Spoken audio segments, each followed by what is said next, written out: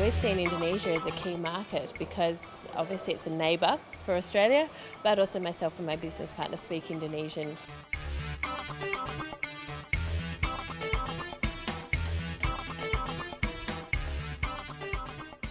I understand it's people to people. Will you be using the people of Indonesia to help uh, tweak some of that technology, so to speak?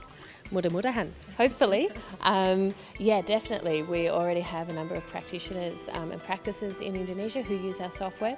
Um, and one of the things we've found is that because we're a community worldwide, we have doctors and patients helping us build out our software um, improve our software with their feedback um, and also even translate our software into different languages for us. Um, and so that community that we've built is so important. And have you had a chance to explore this idea more in Indonesia and how have those conversations been going? Yeah, well, here at the forum, there are so many people um, with real health expertise. Sometimes people might perceive that there are so many differences between our countries, and yet the issues are the same in Indonesia and in Australia when it comes to healthcare, which is around accessibility of healthcare. It's also around efficiency. For example, for every cardiologist in Indonesia, there's 400,000 people.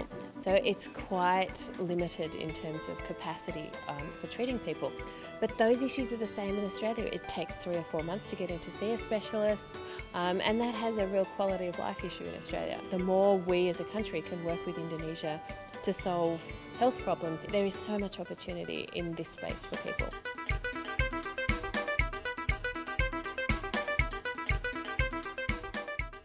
Now, you mentioned that you spoke the language, uh, the, na- the national language of Indonesia, and you've come here looking at, at possibilities. What's your feeling? What's it been like to be here in Indonesia?